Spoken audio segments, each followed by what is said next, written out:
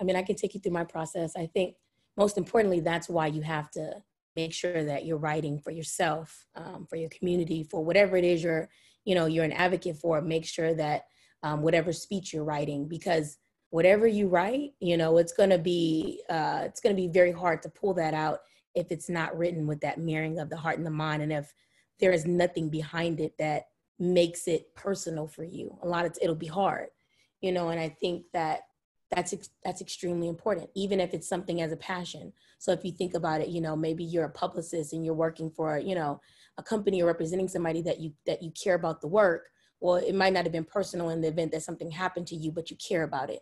So i just think that that's extremely important. I think for me my process is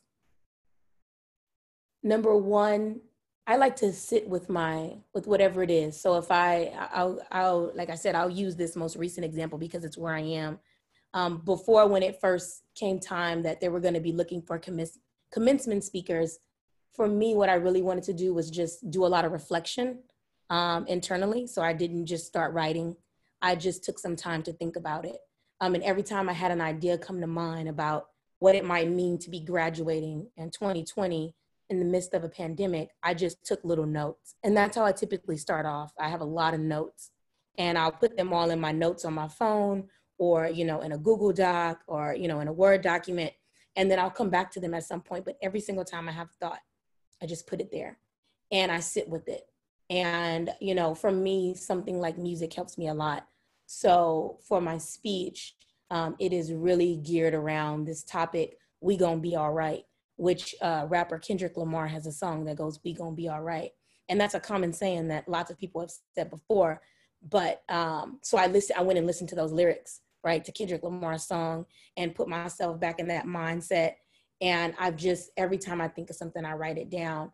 And um, when I go tomorrow to record the speech, I'll wake up tomorrow morning very early. Um, I'll go over the speech again. When I'm in the car, I'm sure that I'll be playing "We Gonna Be All Right."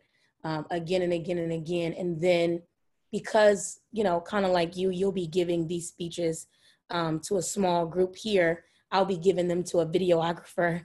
Um, there won't be actual people there, but I have to bring the same energy as if I was giving it on graduation day.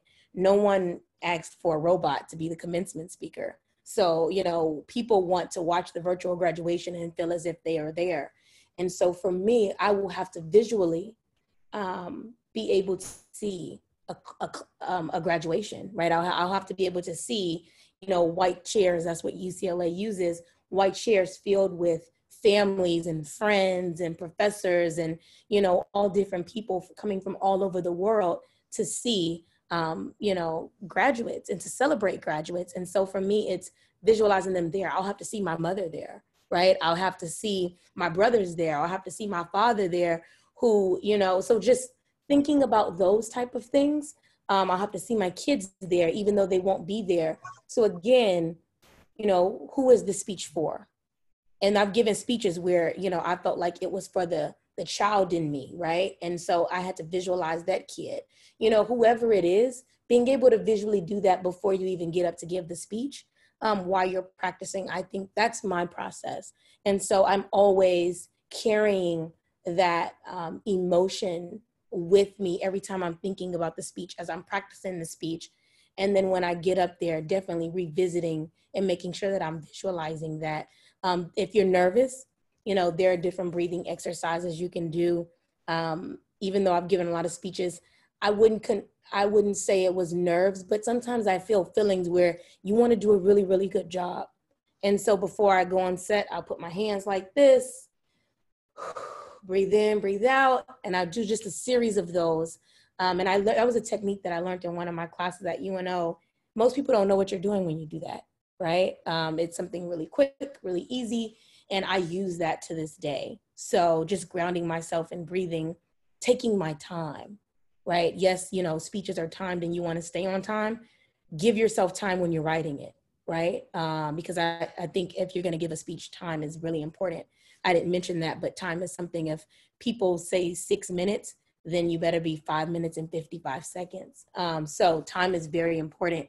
And so, but when you're writing your speech, thinking about that time, because silence and moments of pauses um, are able to bring a lot of a lot of impact and effect if you're intentional about them. So you do want to take time to give those pauses, to give people opportunity to hear you.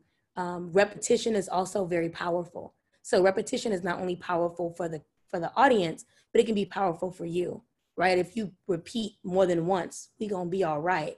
And you change the way you repeat that over and over again, that can also, um, you know, elevate your emotions as well.